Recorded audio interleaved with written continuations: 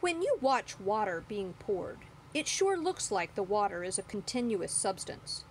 But in fact, if you could magnify it bigger and bigger and bigger, even more than a microscope can do, you would see that water, like all things, is made of tiny pieces called atoms.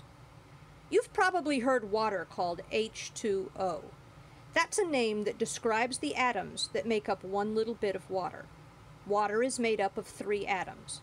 One of those atoms is an oxygen atom, thus the O. Two of those atoms are hydrogen atoms, thus the H2. When atoms join together to form a unit, that unit is called a molecule. So we have here three atoms, two hydrogens and one oxygen. When they link up, like you see in this model, they form one molecule of water. Now keep in mind, these atoms and molecules are really small. Look at the period at the end of a sentence in this book. It would take 10 million hydrogen atoms lined up next to each other to stretch from one side of the period to the other.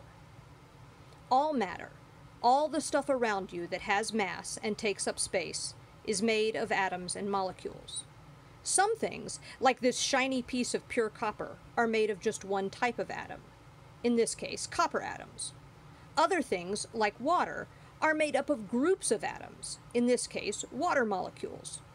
Both atoms and molecules can be called particles, so you can say that all matter is made up of particles.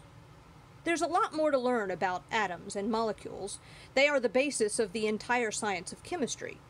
For the purpose of this unit, however, all you need to know is that matter is made up of particles, either individual atoms or groups of atoms called molecules. We're going to find out more about how those particles cause all kinds of things that you've seen happen in everyday life.